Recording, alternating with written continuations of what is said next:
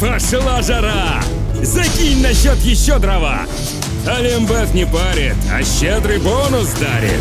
Зарегистрируйся, пополни счет и получи 30 тысяч рублей. Олимбет – народный букмекер.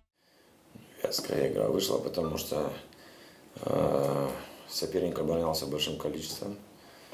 Э, мы, мы пытались это скрыть, мы пытались угрожать воротам.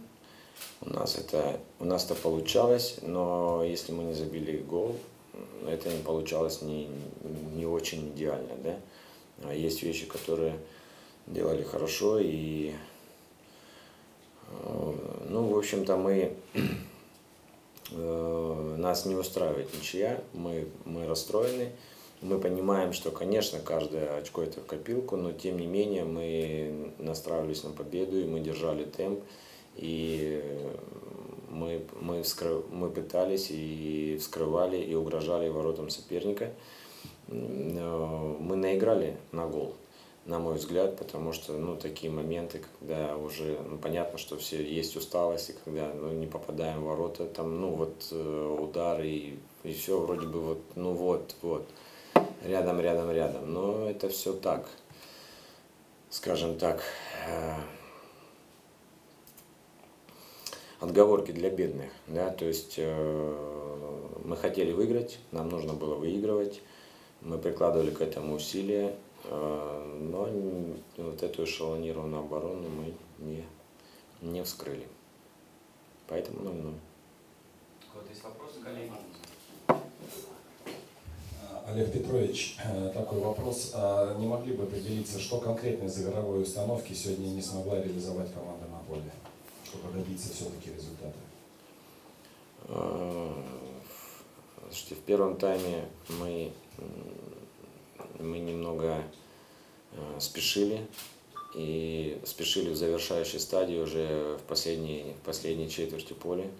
Э, это, это раз. Второй момент. Мы делали дополнительные, на мой взгляд, усилия в плане контроля мяча и поля. Потому что немножечко поле у нас такое э, немного останавливало мяч, и нам приходилось делать дополнительные усилия. Вот, э, что еще? Мы, мы вскрывали полуфланг-фланг и, и и атаковали через середину, если соперник перестраивался на фланг. Ну и, собственно, все моменты, которые мы, мы создали у чужой штрафной, они вытекали вот из этих вещей. Мы подбирали мяч и разгоняли атаки. Да, ну вот, из, и вот э, это, это то, что, собственно, ну, было выполнено ребятам и держали темп не получилось, не получилось забить.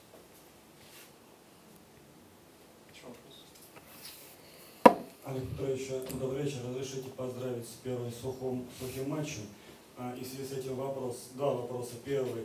А, при подготовке к этой игре учитывалось, что в предыдущих матчах ну, достаточно много мячей пропускалось, и был ли сделан акцент на концентрацию в игре в обороне, потому что не пропустили, уже не проиграли.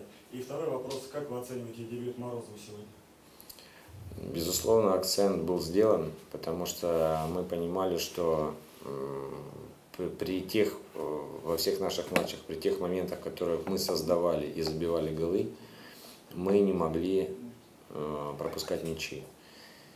Э, Причем пропускать их так легко. Конечно, был сделан акцент именно на, на это. Вот, мы сделали определенную ротацию. Морозов сыграл э, хорошо. Э, вот у нас еще, у нас получилось, что у нас э, получается 4, 4 вынужденных замены, которые произошли, из них два защитника. То есть нам хотелось бы, это не входило вообще в наши планы, потому что нам хотелось бы усиливать еще атаку. Но произошло так, как произошло, и здоровье футболистов гораздо важнее. Они отдали максимальные силы. Мы рады, что мы сыграли на ноль.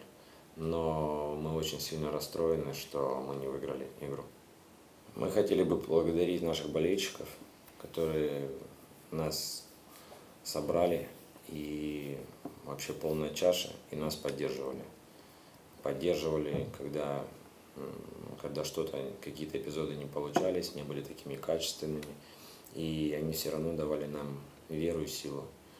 А, мы также, у нас не было сегодня фан-сектора, но мы, мы чувствуем их поддержку и, и понимаем, насколько, насколько нам важно, чтобы они были, были с нами, и мы понимаем, мы понимаем их решение.